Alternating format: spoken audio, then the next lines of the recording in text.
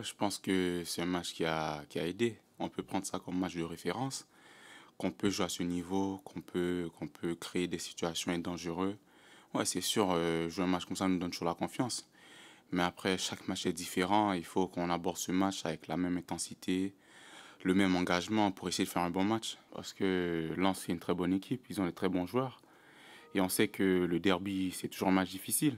Que les deux équipes vont, vont se donner à fond parce qu'on sait que c'est un match aussi important pour les supporters. Et aussi, euh, vu notre situation, nous aussi, on a besoin des points.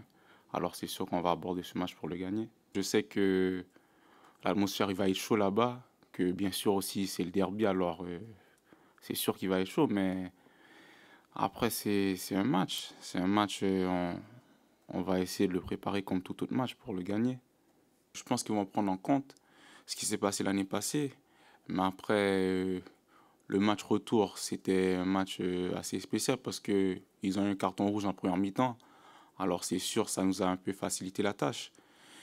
Et sans ce carton-là, on ne sait pas comment le match euh, se serait passé. Mais c'est sûr que c'est un match qu'on sait qu'il va avoir beaucoup d'engagement, beaucoup d'envie des deux équipes pour pouvoir gagner. Pour moi, j'ai une bonne relation avec le coach. Euh, et je pense que chaque joueur peut dire la même chose. Il nous parle très souvent. Il nous donne des conseils, des, petits trucs. Je pense qu'on a tous une bonne relation avec lui.